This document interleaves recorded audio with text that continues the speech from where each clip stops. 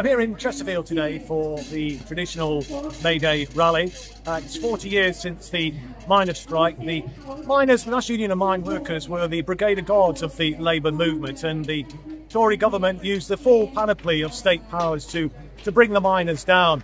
And uh, the Labour movement really suffered a huge blow as a result of the miners' strike uh, defeat. But we are now regrouping, and the, the Workers' Party are now, I think, the real representation of the, the spirit of the National Union of, of Mine Workers. And we're seeing now uh, huge gains for the Workers' Party going forward. We saw George Galloway's excellent uh, result in the Rochdale by election. We've seen uh, victories in the local elections as well.